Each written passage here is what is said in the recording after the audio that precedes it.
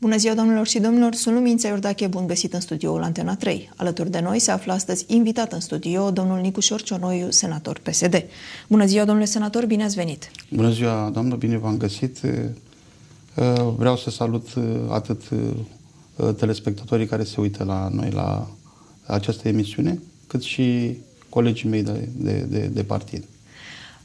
A trecut o lună de la preluarea mandatului.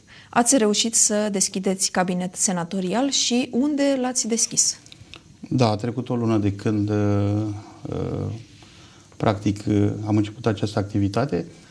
Am deschis biroul senatorial în sediul Partidului Social Democrat. Avem un program de audiențe care începe cu ziua de miercuri a fiecărei săptămâni între 11 și 1. Vreau să vă spun că am rămas plăcut surprins că să știți că sunt foarte mulți oameni care au venit în audiență cu destul de multe probleme, în mare parte probleme care țin de locul de muncă, în mare parte probleme care țin de problema care am dezbătut, să spunem, săptămâna trecută, acea problemă a ENL-ului, dar în mare parte probleme care țin de locul de muncă. Oamenii Vă solicită ajutor? Vă solicită da. un loc de muncă? Oamenii solicită un loc de muncă, oamenii doresc în momentul acesta să găsească uh, o oportunitate, o oportunitate pe care noi, echipa PSD, vrem să o materializăm, vrem să o studiem. Tocmai rolul nostru este uh, al tuturor, a întregii echipe, este aceea de a analiza, uh, de a constata care sunt problemele în acest moment, Uh, toți colegii mei, să știți că au programe de audiențe, toți o să ne întindem și o să ne așezăm în tot județul. Uh, vreau să vă informez că colegul meu, Mitică Coarna, are un birou deschis la Olteința, dar în același timp are și audiențe joi la Călăraș. Uh, colegul meu, Bărcă, și-a deschis un birou la Lehliu, are și el audiențe, pentru că este, practic, biroul este, se va deschide sâmbătă. Nu știu când a stabilit ziua, dar toți vom avea audiențe. Uh, eu am un birou la Călăraș, un birou care o să-mi îl deschid uh, și la Fundulea. Acum suntem în partea de deschidere și încercăm să acoperim întreg județul. Referitor la problemele cetățenilor, să știți că cred că oamenii au rămas plăcut surprinși de faptul că cineva îi mai bagă în seamă. Uh, sunt probleme care în mare parte, nu știu în ce măsură Apropo de locurile de muncă, putem să le, să le, să le, să le rezolvăm, dar ne dăm toată silința ca să depistăm acolo unde este cazul, în societățile pe care noi le cunoaștem din Călăraș, uh, să putem să uh, găsim o rezolvare pentru acești oameni. În schimb, apar și probleme care sunt foarte delicate, problemele care le-am semnalat cu partea de INL. Uh, probleme care, în acest moment, pentru mine, reprezintă un grav pericol. Ce anume v-au semnalat uh, cetățenii în legătură cu furnizorul de energie electrică? Sunt multe probleme. În primul rând, variațiile de tensiune. Variații de tensiune care, studiind legea, nu știu în ce măsură vom găsi o rezolvare sau în partea contractuală, atâta vreme cât uh, Enelul face un contract pentru o persoană fizică foarte stupos, acea persoană l-a semnat. Dacă vă uitați numai la o factură care sosește, e foarte greu pentru o persoană fizică să depisteze în 4, 6, 7 foi, să depisteze cât are de plată când el se uită la final și are o sumă. Suma aceasta să spunem că o plătește. Dar omul este nemulțumit de serviciu. Vedeți, privim lucrurile strict pentru persoana respectivă care se străduiește în, în zona asta săracă, în economia asta săracă, să plătească factura. Culmea e că această societate este foarte norocoasă, pentru că oamenii plătesc. Deci nu mai sunt decalaje la plată. Plătesc. Ei nu sunt respectați pur și simplu vis-a-vis de plata pe care o fac. Dacă ar exista un dialog, dacă ar exista o rezolvare, oamenii poate ar privi mult mai relaxați acest lucru, dar când sun la telefonul acela și îți pierzi o jumătate de zi, lucru verificat de mine, când încerci să suni la uh, echipa de mentenanță, la echipa care conduce mentenanța și nimeni nu se răspunde, Uh, vreau să vă spun că după, după mm, conferința de presă care am dat-o, uh, m-au sesizat foarte mulți primari și mi-au zis, domnule, noi suntem reprezentanții INL în teritoriu. Cum au ajuns în această situație? Pentru că toți cetățenii din comună sună la primari. Deci când au o problemă, nu Sigur. apelează Enel, apelează la primar. Deci toate aceste lucruri sunt, cum să spun, de foarte mult timp. Și primarul deci, cum rezolvă situația? Primarul, primarul, toți primarii se străduiesc să rezolve aceste probleme. Cât de mult stau fără curent sau cât de puțin stau fără curent, depinde de norocul și de șansa și de timpul de afară. Pentru că investiții în acest domeniu, în acest moment, nu s-au făcut. Toți știm acest lucru. Toți nu vorbim absolut nimic, dar în tot mediul rural, în toată partea urbană, nu s-a făcut absolut nimic. Știți că la un viscol mai puternic am avut noroc cu această iarnă, că a fost o iarnă blândă, dar la un viscol sau când bate vântul afară, localități întregi din județul Călăraș rămân fără energie electrică. Dacă facem o ședință publică și invităm toți primarii din județul Călăraș, o să vedeți că 90% dintre ei o să vă spună că lucrează benevol cu ghilimele de rigoare, acum glumind, la Enel. O să vă spună că au probleme foarte mari cu cetățenii. O să vă spună cât de mult stau pe aceste numere de telefon. Și atunci, care este soluția? Asta voiam să vă întreb. Primarul, în momentul în care este sesizat, uh, urmează acele, aceiași pași pas, ca dumneavoastră, adică să stea pa, și să aștepte pași, în da. telefon până îi se face legătura? Acela, aceiași pași. Sau uh, primarul respectiv, având de mai multe ori probleme, are un număr, are un număr de, de contact. telefon al unei persoane care este îndreptățită sau mai puțin îndreptățită să-i dea anumite informații. În general, primarul nu sună pe acest număr de telefon pentru că Orice persoană care încearcă să sune pe acest număr de telefon, o să vedeți că pierde extraordinar de mult timp. Dar mă gândesc care este strategia Enelului, pentru că noi avem un director care este din Slobozia și care, presupunând că este viscol, nu poate să ajungă la Călăraș. Mă gândesc că în momentul acesta partea de mentenanță este destul de, cum să spun, diminuată, pentru că toți primarii se plâng de faptul că nu ajung echipele de mentenanță în termenul respectiv. Asta voiam să vă întreb. Dacă uh, directorul nu ajunge de la Slobozia la Călăraș, atunci echipele de intervenție, în situația unui viscol, cum ajung în localități? Păi, Probabil asta... de aici și situația în care localitățile stau și săptămâni da, fără, da, fără da. curent electric. Uh, noi luăm informațiile care, cum să spun, care sunt uh, practic cele mai apropiate. Dacă ne ducem într-un cătun în acesta, o să vedeți că Enelul ajunge doar în momentul în care se poate acolo, doar în momentul în care are timpul necesar și după o perioadă destul de lungă de timp. Deci, și cum facturează atunci în zona respectivă? Facturează normal. Se facturează normal, toate lucrurile astea apar ca și cum suntem o societate, sau este o societate foarte, foarte corectă, dar întrebarea mea este dacă sunt problemele astea, dacă nu s-au făcut investiții, dacă partea de personal este destul de restrânsă. Ce se va întâmpla cu noi? Pentru că eu vreau să discutăm acest fenomen uh, ca un preambul. S-ar putea să apare un al doilea Matei Balș, pentru că e iminentă apariția unei defecțiuni majore. Nici o remediere, nici o investiție. Dacă, v-am spus, luăm toți primarii din județul Călăraș, și fiecare să spună ce investiții s-au făcut într-adevăr la Dragalina, dar la presiunea primarului, pentru că el a intervenit la ANRE, un lucru pe care astăzi vreau să-l dezbatem, un lucru pe care toată lumea trebuie să știe. Există o societate care controlează Enelul, care poate în momentul ăsta să oblige Enelul să facă aceste lucruri, pentru că Constanța, la care, la care noi suntem arondați, niciodată nu o să scoată ochii domnului Vasile Dumitru. Și atunci trăim toți tacit într-o minciună, într-o letargie pe care o acceptăm.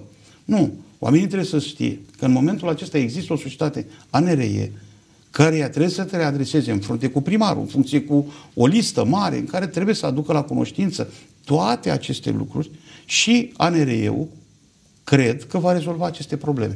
Ați primit sesizări de la cetățeni care au avut de suferit din cauza acestor întreruperi de tensiune electrică? Da, am și câteva adrese uh, și vreau să vă spun că dacă extindem uh, partea de audiență, s-ar putea să fie mult mai multe. Uh, sunt oameni foarte amăriți, cărora li și televizorul și frigiderul pe variații de tensiune. Lucrurile astea Enerul le știe, pentru că iau un dispecerat. În dispecerat se vede tot. Numai că ele sunt ascunse, ele sunt păstrate tacit de către ei ca ei să vină cu factura și să spună avem de toate. Da. Dar oamenii aia ce fac mai departe? Au primit despăgubiri? Nu, sau... nu, nu. Nu au primit despăgubiri pentru că, vă spuneam la început, în contractul acela stufos, uh, INL-ul își ascunde orice viciu. Și în contractul acela el face de așa natură ca să nu plătească nimic. Deci, fiecare dintre noi care am avut-o sau avem o afacere, suntem răspunzători de ceea ce facem. Enelul în acest moment nu răspunde de nimic. Pentru că dacă te lasă fără curent, nu răspunde. Dacă curentul are variații de tensiune, iar nu răspunde, dacă intervine mai rapid sau mai repede, iarăși nu răspunde. Iar noi, ca simpli consumatori, ce putem face să ne apărăm? Că, vă dați seama, sunt aceste fluctuații de tensiune. În momentul în care uh, vine cu o fluctuație foarte mare, uh, ți-a ars toată aparatura. Ce putem face ca simplu păi, consumator? Uh, ca simplu cons- cons- consumator, uh, bănuiesc că este o cale pierdută. Fără asocieri și fără reprezentativitate, uh, într-o anumită asociere, să spunem așa, nu facem nimic. Uh, intenția mea este ca toate aceste reclamații să le strâng, să deschidem un proces uh, care va fi mediatizat. Uh, ca această societate, Enel, să răspundă pentru ceea ce face. Nu vrea nimeni un leu în plus. Dar toți agenții economici doresc un serviciu calitativ. Dacă se poate, aș vrea ca directorul acesta, Vasile Dumitru, să se ducă la Enel Italia, în Italia, să vadă dacă acele servicii sunt la nivelul Călărașului, la nivelul Ialomiței sau la nivelul Italiei. Deci trebuie să respectăm clienții. Acolo toate lucrurile sunt, uh, cum să vă spun, făcute de așa natură încât există dialog. Uh, am o cerere la mine în care cineva spune, domnule, nu mi-a sosit factura decât după, nu știu, două luni sau trei luni, din motiv că mi-au schimbat contorul. Da, dar legea spune cu totul și cu totul altceva. Trebuie să înștiințezi acel consumator, pentru că el îți plătește. E strigat contorul, vi-l schimb mâine la ora 13, să aveți grijă să nu stricăm calculatorul, să nu stricăm frigiderul. Lucrurile astea nu se fac. Nu semnează clientul pe o fișe. Nu semnează nimic. Toate sunt luate pentru că în momentul acesta omul, nefăcând, uh, neștiind ce trebuie să facă, în acest moment el este luat de val și plătește mai departe, suportă mai departe pagubele care, care e, sunt create. Deci el nu știe. Pentru că încercați dumneavoastră să vă duceți mâine la Enel să aveți o discuție cu un factor de decizie. Încercați să vedeți care sunt persoanele care decid în acest centru al nostru. În primul rând, dacă sunați pe MyNL, el nu mai funcționează. Și atunci, care este rolul Constanței care verifică călărașul? Care este rolul directorului de aici? Care verifică mai în el? Că trebuie să meargă. Nu merge.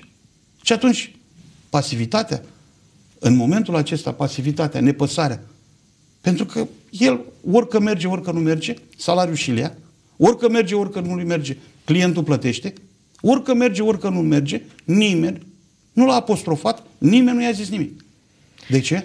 Din funcția de senator, probabil aveți alt acces la informații. Din când v-ați interesat dumneavoastră, știți dacă INL-ul a făcut investiții din toate facturile acestea plătite de, de consumatori? Știți dacă s-au făcut investiții în ultima perioadă? Ați aflat în alte aceste zone informații? Nu am avut timpul să mă interesez. Vreau să vă spun că nu, acest subiect, da, acest subiect va rămâne pentru mine, pentru mine, uh, va rămâne un subiect care va fi finalizat. Uh, Enelul nu are cum să facă investiții și am să vă spun din propria mea experiență. În general, un agent economic, când își deschide o investiție, își finanțează această parte electrică care ulterior trebuie predată Enelului. Adică un investitor dă, în cazul unei cunoștințe, 87.000 de euro și cumpără transformator pe care îl pune în funcțiune, pe care îl predă Enelului. Deci Enelul figurează cu o investiție făcută pe banii dumneavoastră. Dar știți care este cea mai gravă problemă? Pentru că Enelul nici măcar nu e bucuros ca acea persoană sau acea persoană juridică și face investiția. Participă la recepție când dorește, dacă dorește, dacă vine domnul Vasile de la Slobozia sau nu vine. Deci ei păstrează mai departe termenul de 30 de zile. Și tu trebuie să suni mai departe la Constanța, la București, ca să poți să dai drumul la acea afacere, pentru că tu ești purtător de dobânzi. Lucru pe care Enelul nu-l face. Domnul Vasile are un salariu, e bucuros, are mașină, are tot ce trebuie. Dar noi, care suntem agenții, cum să facă Enelul investiții când dumneavoastră cumpărați și îi dați Enelului investiția dumneavoastră. Interesul meu ca agent economic este să-mi deschid afacerea cât mai repede. Eu nu pot Corect. sta să aștept... Uh... Interesul nostru este ca să, că în momentul în care curg dobânzile, să ai din ce, adică să ai producție. Să ca ai din ce să le achiți. Dacă Enelul nu vine, dacă tu faci trei adrese, dacă el spune, domnule, trebuie să așteptăm 30 de zile ca să vină domnul Vasile de la Slobozia. Care este managementul uh, echipei de la Constanța în momentul în care pune un șef de punct de lucru la Călăraș și la uh, Ialomița? Că nu merge nimic. Când vrei ca ceva să nu meargă, pui pe cineva care nu știe nici de stânga, nici de dreapta. În acest moment, legea s-a schimbat. Credeți dumneavoastră că mă întrebați de investiții. Acum s-ar putea, pe această lege, dacă nu va fi modificări, ca Enelul să fie obligat să facă investiția pe banii lui. Când credeți că va face această investiție? Când un agent economic va solicita un transformator cu un factor de putere, cu tot ce are de acolo, credeți dumneavoastră că în momentul acesta Enelul va veni și spune agent economic, poftim? De ce Enelul nu este capabil să spună pentru o afacere care s-a deschis în Călăraș, deci eu, Enel, pot să spun la dispoziție aceste utilități. Nici nu se pune problema. Ce investiții să fac? Toți agenții economici, dacă îi întrebați, toți au făcut pe banii lor. Toți acești, aceste investiții au fost transferate către Enel cu acte regulă, cu notar, ca să poată să intre și așa mai departe. Legile sunt foarte bine făcute din punctul ăsta de vedere. Munca lor nu există. Ei nu mai încasează bani. Oamenii sunt perfect îndreptățiți. Dar, vedeți, dumneavoastră, n-a existat ce, puterea exemplului. Nimeni dintre noi nu a dorit ca să schimbe ceva. Gândiți-vă că de pe vremea cealaltă nu s-a făcut o investiție la nivel de, să spunem, de rețea. Priviți stâlpii din comună toți sunt bă, căzuți așa de vânt, de cum a, a bătut vântul, cu toate că bănuiesc, cred, că în pro, programul de, de privatizare ei sunt obligați să facă investiții. Bănuiesc că în tariful acesta ei au un procent pentru investiții. Pentru investiții. Dar nu există. Nu există nici măcar dialog. Dacă, v-am spus, încercați să intrați pe site, pe tot, toate aceste persoane sunt foarte frustrate dacă vă răspund la un moment dat. Primarii sunt primari de stoinici. Indiferent că sunt PSD sau PNL, să știți că ei țin la cetățeni. Și îi apără și se chinuie și suportă toate, toate, toate lucrurile astea care nu sunt ale lor. Dacă se ia curentul în localitate, automat este și primarul afectat. A, da, dar primarul nu este cu nimic de vină. Da. Toți îl sună pe primar. Nu avem curent, nu avem pe strada cu tare, nu avem cu tare. Deci, dacă te uiți, inclusiv la mașinile de intervenție, ele n-au mai fost schimbate de 1000 de ani. Toți care am avut sau avem firme private, ne gândim la partea de investiții. Deci Enelul în acest moment se gândește decât la partea de tarif. Să majoreze tariful și o să vedeți că pe această lege în care el este obligat, el este obligat să facă investiții, el o să crească tariful. O să vedeți că în momentul în care cetățeanul de rând nu știe să selecteze, că acum putem să selectăm ca distribuitor Enelul sau da, alte putem firme. să alegem. Putem să alegem.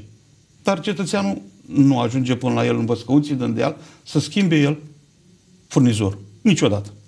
Dar nu se fac profita... întâlniri să li se explice? Niciodată. Niciodată. Nu a existat o întâlnire. Aroganța aceasta a Enelului, practic pe mine în acest moment, mă deranjează faptul că nu există o cale de dialog.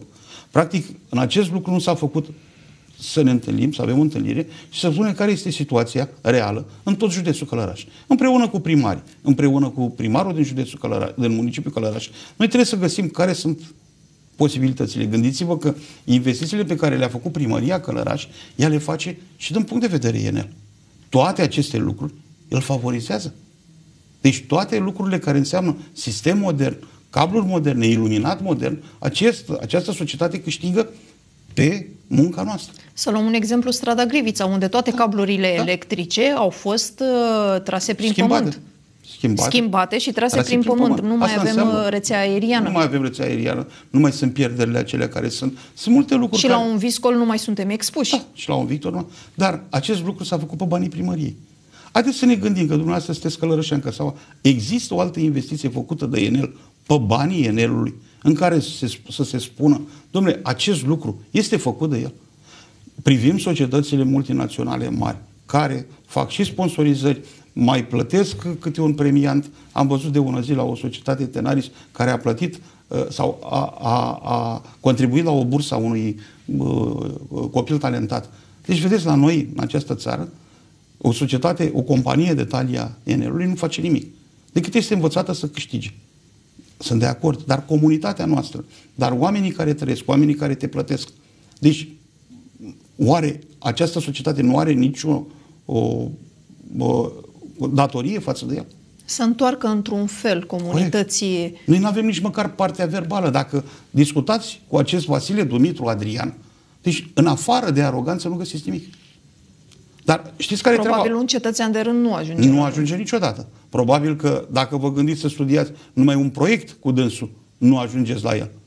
Deci nu există o soluție constructivă dacă ai un proiect să te duci la dânsul. Nu există nimic. Există doar o aroganță. O aroganță care este tolerată de Constanța. O aroganță pe care eu, împreună cu hârtiile pe care le am, eu nu mai tolerez. Suntem în călăraș ca să fim respectați. Nu suntem o zonă periferică ca oricine să ne calce pe picioare. Plătim ceva, trebuie ca acel om să ne respecte pe noi pentru ceea ce am făcut. Este obligat să aibă și dânsul un discurs, să aibă și dânsul o întâlnire. Într-adevăr, dânsul pleacă întotdeauna din Călărați, se duce la Slobozia, are sau nu avea înlocuitori, are sau nu are mentenanță, habar n-am. Durează o zi sau durează două, n-are nimeni nicio problemă plătim, trebuie să avem un serviciu de calitate. Ați spus că pregătiți un proces. În perioada următoare, călărășenii, și sunt convinsă că sunt foarte mulți, cei care au avut de suferit în urma acestor fluctuații de curent sau care au probleme cu această societate, pot veni în audiență la dumneavoastră sau vă pot trimite pe o adresă de e-mail uh, da. deci, sesizările se lor? Pot, se pot face, dar în primul rând și în primul rând trebuie să studiem contractul.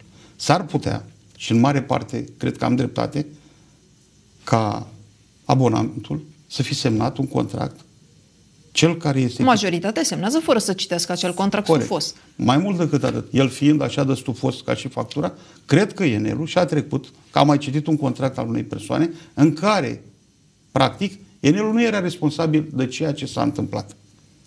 Acum, noi nu suntem oamenii care am venit să judecăm. Noi am venit oameni să sesizăm. Sesizarea acestor oameni vrem să o aducem la cunoștință oamenilor care, din Enel, în prima dată din Enel, care vor să audă. Nu este cazul Călărașului. Suntem prea mici pentru Călăraș. O să mergem la Constanța. Este primul pas. După aceea, o să avem o intermediere între Constanța și ANRE și noi. Și după aceea, pe baza a acestor documente, o să deschidem un proces referitor la toate lucrurile pe care cetățenii le-au ridicat. Nu putem să ridicăm orice doleanța cetățeanului, dacă el a semnat, nu avem cum să ne ducem spre Enel dacă abonatul Dacă contractul semnat. acoperă Corect. orice... Și atunci trebuie să găsim lucrurile reale. Dar sunt multe, doamne. Sunt foarte multe. Sunt extraordinar de multe vis-a-vis de acest oraș. Uh, în acest oraș, managementul la nivel Enel este un management foarte defectuos. Ceea ce mă deranjează cel mai tare este că uh, Uh, într-o companie privată, eu am lucrat 18 ani într-o companie multinațională, să știți că rezultatele, pe lângă faptul că erau studiate financiar, să spunem că stă bine financiar, cele de comunicare, cele de, uh, cum să spun, uh, de dialog, eram studiați și acolo. Aici, în acest moment, dialogul între cetățean și Enel nu există. Practic, a ieșit în momentul acesta din discuție orice dialog cu Enel. V-ați gândit să duceți această problemă și în Parlament? Da, dacă e, deci de obicei eu finalizez toate lucrurile care le-am început. Nu ameninț pe nimeni, nu este o problemă care în momentul ăsta să vizeze o persoană. N-am absolut nimic cu nicio persoană. Este vorba de un sistem. Deci indiferent că acest lucru se va pierde sau nu se va pierde în justiție, interpelare parlamentară voi face. Pentru că toți oamenii din această țară trebuie să uh, înțeleagă ceva. Există un respect vis-a-vis de cel care plătește.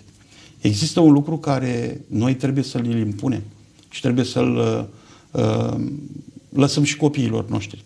Aceea de a evita o gravă, să spunem, o gravă, uh, uh, o gravă problemă care s-ar putea să apară. Uh, nefăcând investiții în acest moment, în acest județ. Din cauza supra-solicitării rețelei din cauza de energie? supra-solicitării, din cauza faptului că rețeaua este dimensionată la nivelul care era atunci, da? din cauza faptului că acele cabluri tot alea sunt și dacă cineva din Enel are curaj să spună că ceea ce spun eu în momentul ăsta nu este adevărat, oricând pot să argumentez cu documente. Întâmplător am lucrat la o societate care s-a ocupat de infrastructura drum în foarte multe localități din acest județ. Vreau să vă spun că tot ce înseamnă un transformator este lăsat de izbeliște. Nici o țară europeană, niciun control dintr-o țară europeană, dacă trece pe acolo, da, nu va lăsa lucrurile nepedepsite.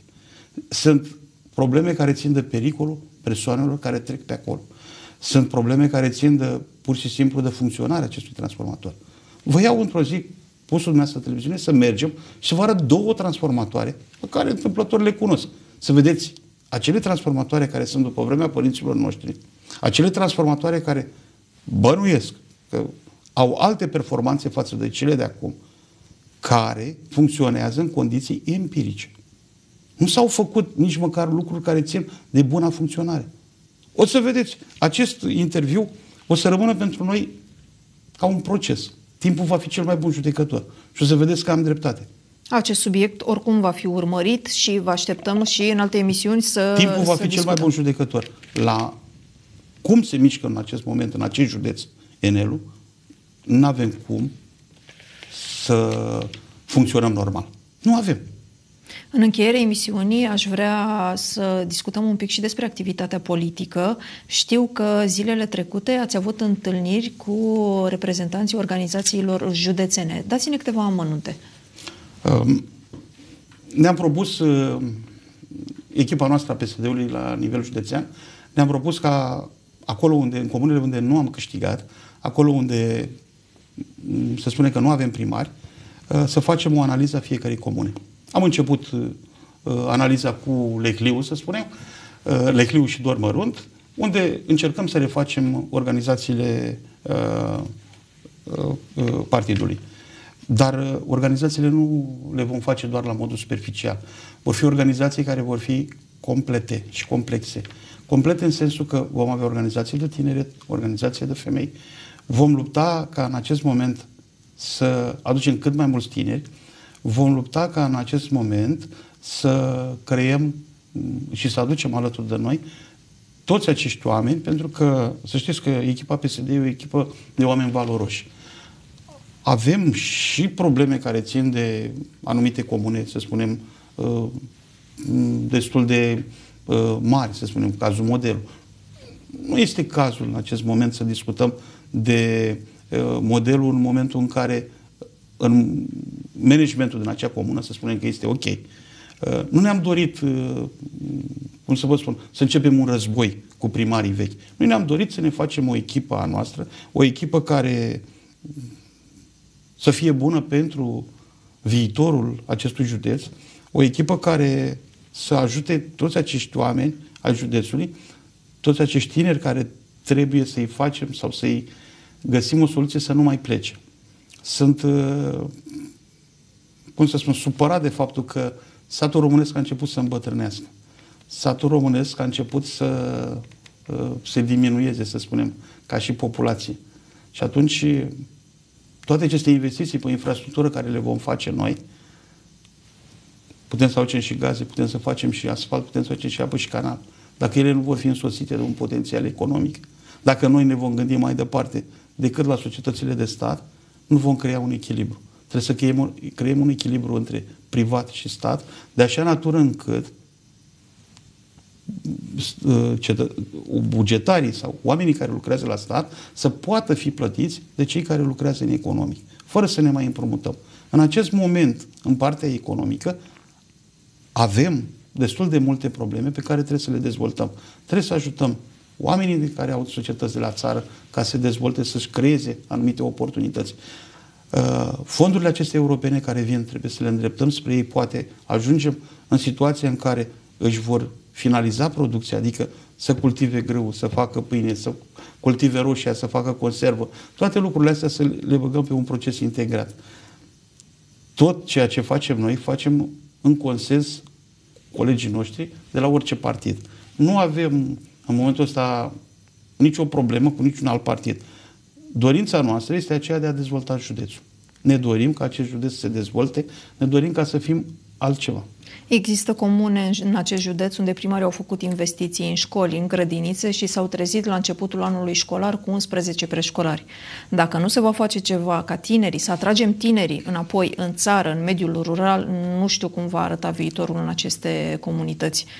Uh, în perioada următoare, uh, dați-mi exemple de localități unde veți participa la astfel de, de întâlniri. Astăzi avem o întâlnire la Dragalina, unde vom face o analiză a organizației.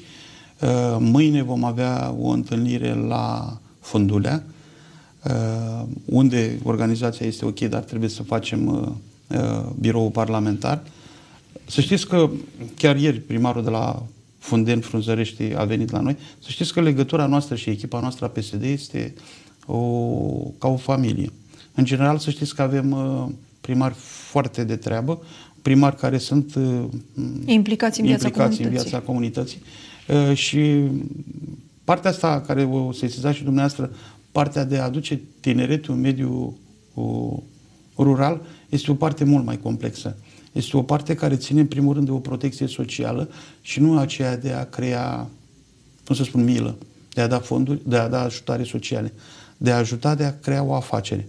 Acest lucru cred că în următoarea sesiune parlamentară, alături de colegii noștri din PNL, trebuie să o dezvoltăm și trebuie să creăm această oportunitate de a da pomeni oamenilor, trebuie să scăpăm, de, a crea, de a-i ajuta să-și creeze afaceri, trebuie să-i ajutăm. Trebuie să găsim modele europene, dar cel mai bun model suntem noi, care trebuie să muncim și care trebuie să facem ceva pentru acest județ. Înainte de a copia, trebuie să găsim o soluție care se adaptează pe teren. Și să fie adaptată pentru da, noi, pentru da. români. Domnule senator, vă mulțumesc pentru prezența în studio.